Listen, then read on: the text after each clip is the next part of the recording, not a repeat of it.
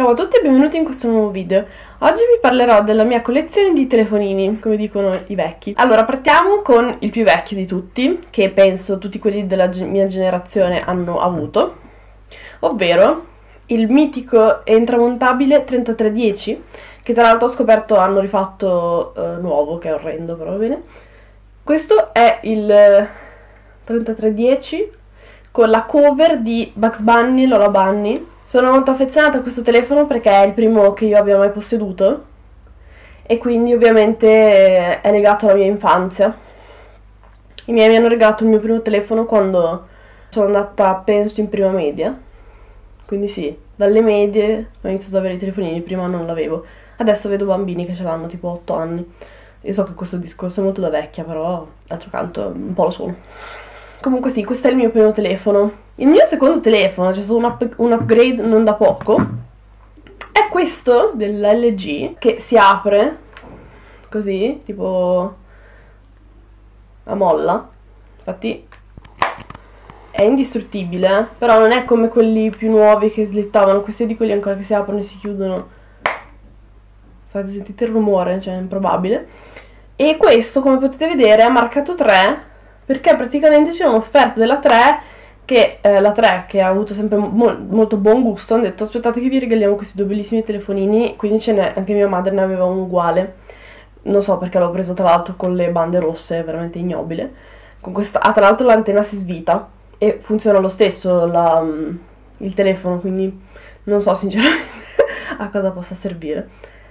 E questo è stato il mio secondo telefono, che come potete vedere ha anche le foto, quindi è stato un upgrade non da poco, il 3310 era, non era neanche a colori, quindi sì.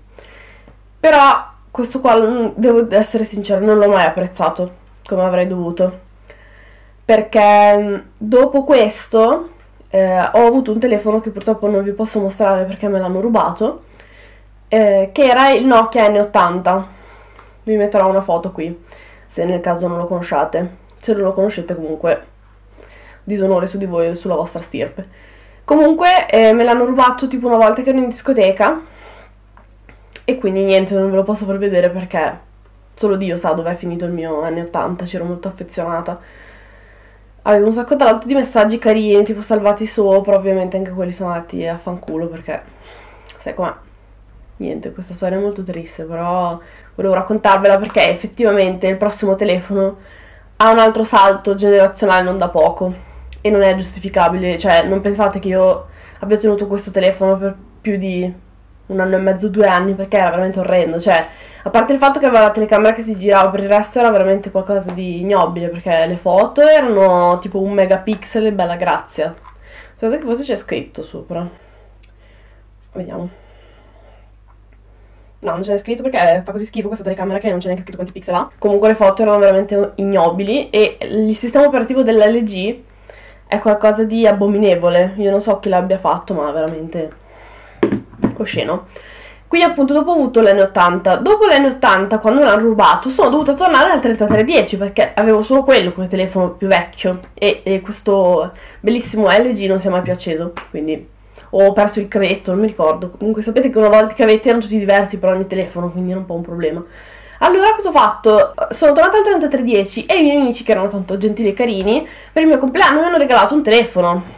E il telefono in questione è questo LG che penso lo sponsorizzassero come tipo LG Tribe, una roba del genere.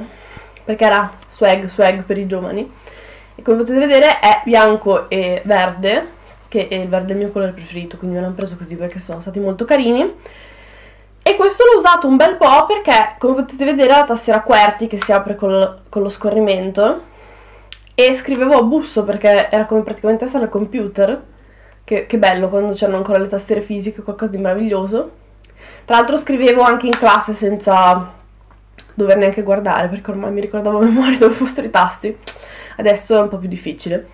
Comunque, questo qua me l'ha regalato per il mio compleanno. Purtroppo, dopo non tanto tempo lo stavo utilizzando, praticamente cosa è successo? Che questo metodo di chiusura, a quanto pare, è un po' un metodo del cazzo, nel senso che quando si chiude deve esserci un contatto all'interno che fa come spegnere lo schermo e a quanto pare spegnere anche il telefono. Quindi mi capitava spesso che io stessi scrivendo chiudevo e eh, mi si spegneva il telefono senza nessun motivo e mi è dispiaciuto un sacco perché a questo c'ero cioè c'ero veramente affezionata col fatto che me l'avevano regalato i miei amici.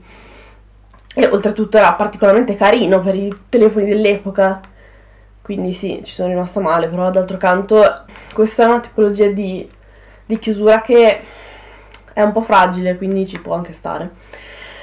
Dopo che questo, cioè quando questo ha iniziato a dare i, suoi primi sintomi di di morte, eh, mio zio me ne ha regalato uno, ritornando alle origini, e mi ha regalato questo Nokia, di cui non mi ricordo sinceramente il nome, non c'è scritto sopra, comunque quello fatto così, uno dei primi con il touch screen, senza la tastiera fisica, dietro è um, azzurro, cioè io ci ho attaccato un cuoricino perché sì, e questo qua è stato, penso, uno dei eh, telefoni con il touch più merdoso mai, mai, creati in tutta la storia dei telefoni, perché eh, il touch era di quel tipo dove tu dovevi proprio fare pressione sullo schermo, se no non digitavi assolutamente nulla. Infatti io ci andavo di unghia, infatti è stato un trauma dopo quando sono passata al touch, che non era più a pressione.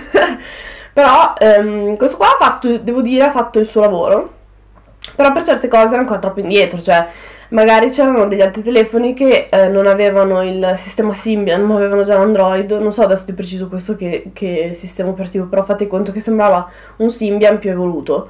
E invece magari altri telefoni, tipo i Samsung, avevano, montavano già un sistema Android leggermente più evoluto e questo era rimasto un po' indietro sinceramente, anche perché per andare su Facebook aspettavo tipo una cosa come 3 minuti per l'apertura della home, che va bene tutto però, insomma, ecco, non esageriamo, ecco. Ecco, l'unica cosa comoda di questo telefono è che per aprirlo, cioè qua sotto c'è un, um, una specie di coso dove si può fare leva e la parte dietro è semi molle, non è perfettamente rigida, quindi comodissimo da togliere la batteria, tipo così.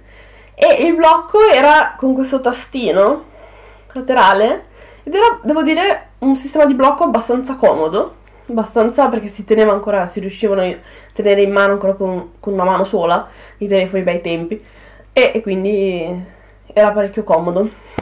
Dopo questo c'è stato anche qua un salto generazionale non da poco. Perché si passa da quel Nokia eh, che non so assolutamente come si possa chiamare a questo qua che è l'iPhone 4S io non so perché sono passata da un Nokia a un iPhone 4S senza nessuno via di mezzo in ogni caso questo è stato è il telefono precedente a quello che possiedo adesso, io adesso ho un iPhone SE e um, questo è il mio 4S ancora funzionante, l'ho cambiato perché si stava rallentando, ce l'avevo da 5 anni e quindi penso che il suo lavoro l'abbia fatto, adesso lo tengo come telefono di riserva, nel caso succeda qualcosa posso, ho sempre questo di scorta, perché tutti gli altri che vi ho appena citato non funzionano, a parte forse il 3310 che però ha una carica veramente eh, residua, veramente minima, dura tipo mezza giornata e dopo lo devi ricaricare, però almeno si accende.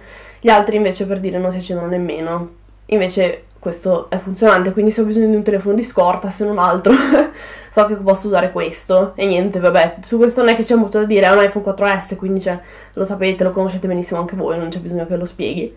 Se vi può interessare, eh, posso fare una recensione sul, sull'SE che possiedo adesso, nel caso qualcuno di voi sia interessato, perché ho visto che non essendo il top gamma eh, non, è, non, è, che ci siano molte recensioni in giro comunque non è che ci siano molti pareri riguardo quel telefono se non dicendo che è quello eh, per i pezzenti praticamente e che ci sta perché effettivamente.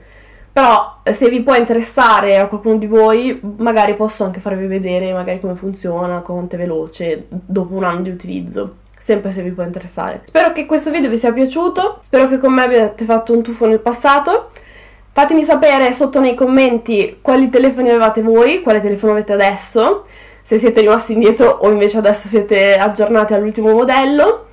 E mi raccomando, fatemi anche sapere a quanti di voi il 3310 è caduto giù dalle scale senza che gli sia successo assolutamente nulla. Se il video vi è piaciuto lasciate un pollice in su, alla prossima, ciao!